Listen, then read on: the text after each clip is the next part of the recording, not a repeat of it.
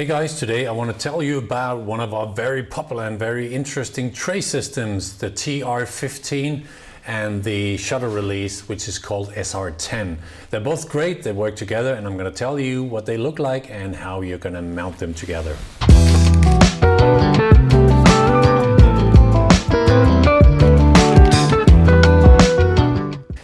So yeah, I mean, this is the tray. It's called the TR15.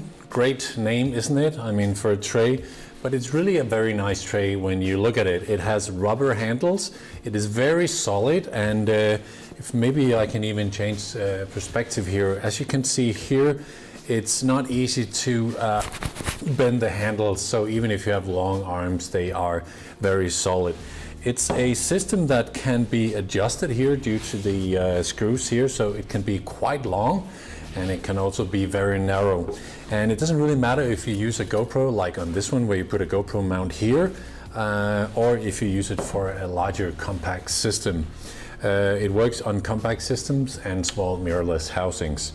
So as you can see on this one, uh, there is a flash trigger sitting here, not a flash trigger, a trigger release and it's a universal trigger release so you mount it on the handle and then you're able to um, as you can see here you're able to uh, exposure quite easily with your finger pointer finger um, without having to try to reach over the tray and into the uh, the camera housing and then expose it that way. So that's really a neat feature and this one is universal so you can actually take it uh, and adjust it uh, to just about any camera system there is. So as I said there are two different of them and uh, what I'm going to show you now is how they look when you get them. So as you can see here they come into boxes. You don't need the, the trigger here, particularly not if you have a GoPro. So in the box is a tray system and some handles and they are not put together yet. Um, we have actually had this developed ourselves because we took uh, an operator, this is a Sparkave system, and we took the, the handles from one system and then we had them modify the tray system from another system, and then we ended up with a completely new product number. They had a TR5 and a TR10 system before now. This one is called the TR15. So it comes with arm ball attached to it, and uh, they're both here. There are two screw holes here. So when you unpack it, you can see here with the screws, they're quite easy to uh, mount and you can see it comes with two uh, housing screws here well, as well a quarter inch 20. It is rubber padded here, so even if you have to take one of the screws off, because your housing is just center, uh, center um, held. I mean, if there's just one hole in your housing, so you need to put it here, you can just move that one. It's a small thread hole here. You can screw it in and you would be able to adjust it here. And that's normally not nice because then your, your camera will rotate on the tray when you use it but because this is rubber, it actually sits quite firmly. But it's always best if you have a housing that has two screw holes. And as mentioned before, there is uh, the possibility of extending it quite a lot. And I can show you that here. So you just unscrew these ones here, with the tool that's in, included. And as you can see how far it got, I can actually take this one out as well and you will not believe how long it becomes. Let me show you here. So, quite long, um, 40 centimeters almost. Right? This is how long it is. So, anyway, um, it's a nice system, and once you have mounted it, you're able to add the flash trigger. And the flash trigger, let me just clean this mess up here. Uh, put that over here. And let's go back to this camera. You can see here the uh, flash trigger. Uh, to some people that's a little bit complicated because this can be a puzzle. There's two different screw, there's longer screw systems in here and that all depends on how you need to mount it. So see you put that one there on the handle and you expose it like that, you see.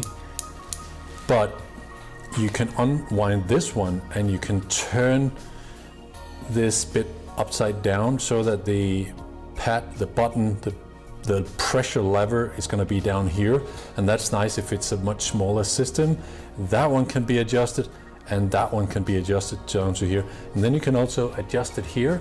You can unscrew these ones, and you can mount it back and forth like that. Um, the other thing is you can take off this screw. There's a shorter screw included here in the package, as you can see here.